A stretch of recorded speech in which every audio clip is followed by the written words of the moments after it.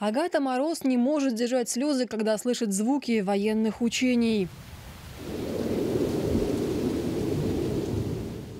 Жители деревень на границе Польши с Беларусью напуганные. Я боюсь. У меня сын в армии. Он военный. Я за него переживаю.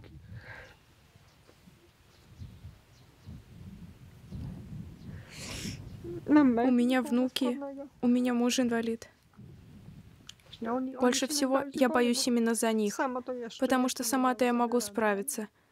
Но больше всего я боюсь именно за них.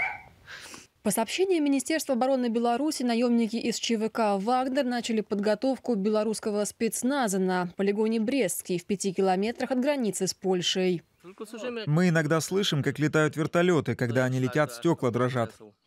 Польша, член НАТО с 1999 года, в начале этого месяца начала перебрасывать более тысячи военнослужащих на восток страны из-за вагнеровцев, которые недавно прибыли в соседнюю Беларусь. Сколько их там, достоверно неизвестно.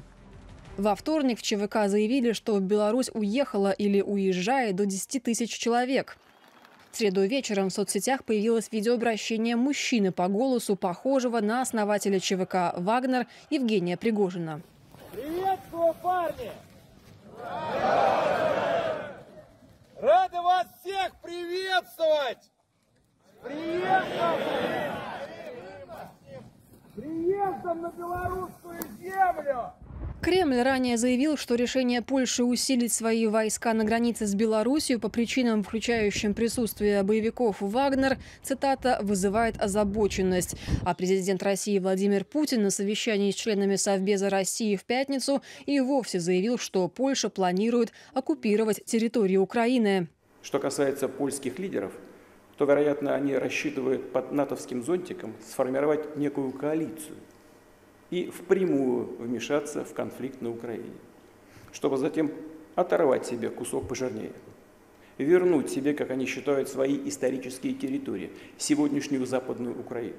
В пятницу премьер-министр Польши Матеуш Моровецкий заявил, что ЧВК «Вагнер», которая находится в Беларуси, представляет собой все большую угрозу как для Польши, так и для всего восточного фланга НАТО. Мы мы решительно противостоим всем провокациям со стороны Лукашенко и Беларуси, но мы прекрасно понимаем, что здесь мы должны быть бдительными. Прежде всего потому, что Беларусь и Россия работают рука об руку, чтобы дестабилизировать Польшу, дестабилизировать восточную часть НАТО, восточную часть Европейского Союза.